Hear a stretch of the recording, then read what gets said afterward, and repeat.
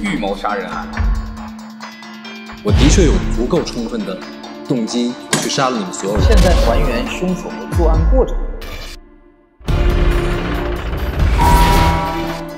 我来稍微帮大家还原一下这件事情啊。我昨天从密道去找你了，那个女生进的是这个房间，是去杀你的，杀你的。不不不，是我先说的。我觉得我们在梦里。你们朋友出事了。这些布的混乱让人觉得这个现场是被重新布置，只有他才是最迫切的。往往自保的人先下手为强。你杀了这么多人，你应该得到一个英雄。